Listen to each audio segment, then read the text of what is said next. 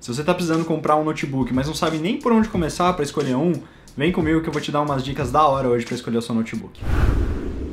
Antes de começar o vídeo, eu queria dar um recado para você. No momento que eu tô gravando isso, o mercado de peças de computador tá com os preços elevados e ele tá muito inflacionado. Então, se você quiser comprar um notebook bom hoje, que vai durar pelo menos uns 3 anos, você vai ter que gastar no mínimo uns 3 mil reais. Então vamos lá. A primeira coisa que você tem que olhar no notebook quando você estiver procurando ele é o processador. Nesse vídeo aqui, eu vou dar uma focada mais em processadores Intel. Caso você queira que eu faça um outro vídeo falando de processadores AMD para notebook, notebook, deixe nos comentários para eu saber, tá? Inclusive, se você é do time vermelho e quiser uma recomendação ou uma dica para processador AMD de notebook, procura os Ryzen 3000. Esquece processador AMD A, isso aí não, não vai dar bom não. Vai de Ryzen que é mais sucesso.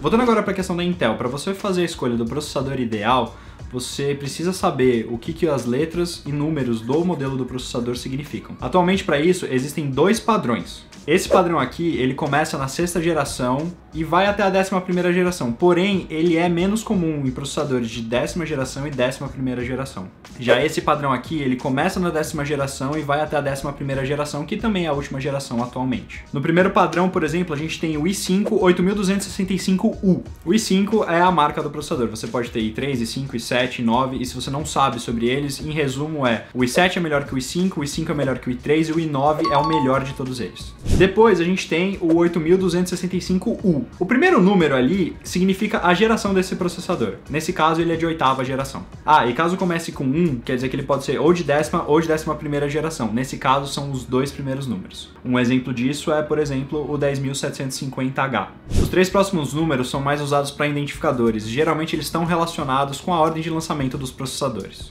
Ou seja, um 8265U é mais recente que um 8250U. Lembrando que esses três números não são bons para fazer comparações.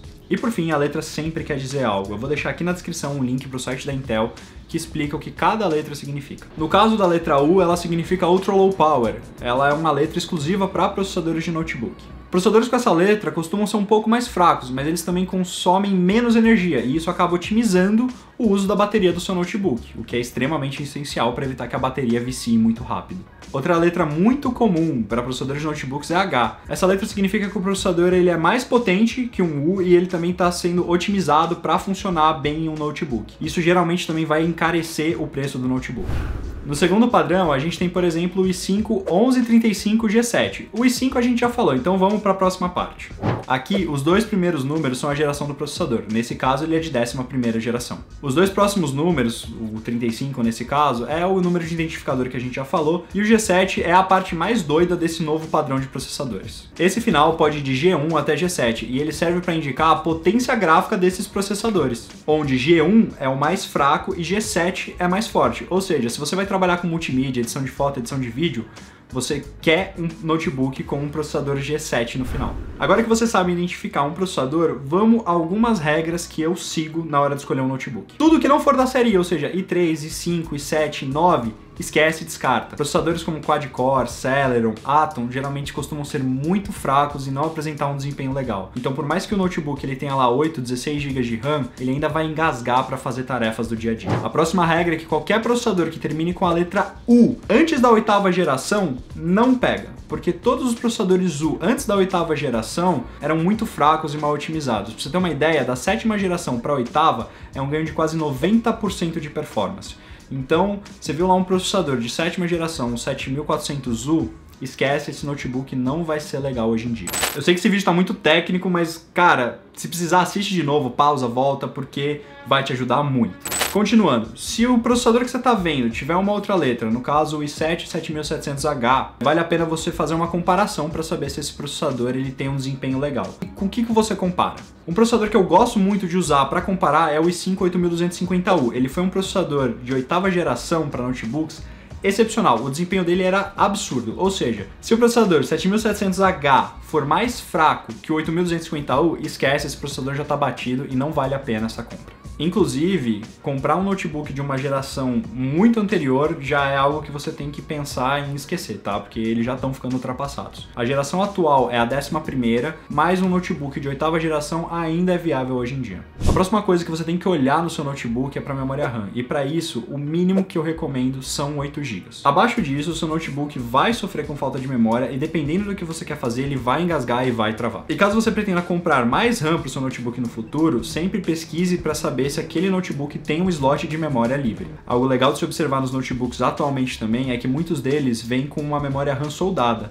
ou seja, a memória RAM vai ficar lá para sempre, você não vai conseguir retirar ela. Ou seja, é sempre melhor você ter 8 GB de memória RAM soldado do que 4, porque aí se você for fazer um upgrade com um chip de 16, no caso de 8 GB você vai para 24 GB e no caso de 4 GB você vai só para 20 GB, então você ganha em uma performance. O processador e a RAM são os itens que eu considero mais essenciais na hora de você fazer a escolha do seu notebook. Os próximos itens agora, eles vão da sua necessidade e do que você faz no seu dia a dia. Placa de vídeo dedicada é quando o seu notebook vai ter um chip gráfico gráfico para que o seu processador não fique responsável por essa função, e aí o seu processador pode se preocupar com outras funções e ganhar mais desempenho no geral. Isso vai te ajudar principalmente para trabalhar com programas de edição, para jogar um LOLzinho ou até mesmo para assistir vídeos. Parece que é zoeira, mas não, isso ajuda para assistir vídeos. Principalmente se você quiser reproduzir um vídeo em 4K ou espelhando o seu notebook para sua TV 4K. SSD ou HD, se você não sabe a diferença, eu já fiz um vídeo falando sobre isso aqui no canal. O card desse vídeo tá aqui, o link também tá na descrição para você se aprofundar nesse assunto. Em resumo, um SSD ele é muito mais rápido que um HD, e isso vai ajudar o seu notebook nas tarefas do dia a dia, principalmente para carregar programas e até para o seu sistema iniciar mais rápido. Sabe quando você liga o notebook e ele fica lá que nem uma manivela? Então, com SSD isso não acontece. Quanto maior o espaço deles, mais coisas vão caber no seu notebook. Afinal, o SSD e o HD são responsáveis pelo armazenamento. E também é muito comum comum hoje em dia você encontrar notebooks com HDs e SSDs, para você ter o SSD cuidando dessa questão de iniciar o seu sistema mais rápido e o HD só para cuidar do armazenamento de arquivos. Inclusive, se você não for comprar um notebook com SSD agora, procure saber se esse notebook tem um slot M2 para você poder fazer esse upgrade no futuro. Além disso, é importante saber se esse slot M2 aceita só M2 SATA, NVMe ou se aceita ambos. A explicação sobre esses modelos também está no vídeo de SSDs que está aqui no card, está na descrição. Eu sei que todas as especificações que eu dei agora vão elevar muito o preço do notebook e para algumas pessoas é um custo muito alto. Porém, eu sou completamente a favor de pagar mais no equipamento que vai durar muito mais tempo e ter muito mais qualidade. Afinal, você já está fazendo um investimento que vai ser um pouco caro. Então, investe um pouquinho a mais para ter algo que vai durar muito tempo, porque investir em algo que vai quebrar daqui a um ano ou ficar ultrapassado e inutilizável é muito ruim. Inclusive, se vocês quiserem um vídeo onde eu falo um pouquinho mais sobre notebooks gamer, como escolher um notebook gamer, deixa nos comentários para eu saber também. Bem, essa é mais uma quarta do Falk. Se você for novo aqui, não esquece de se inscrever e ativar o sininho para receber novos vídeos. Deixa o like, favorita esse vídeo para ajudar na divulgação e também não esquece de mandar esse vídeo pro seu amigo que tá atrás de um notebook. Eu sou o Falk e até uma próxima quarta.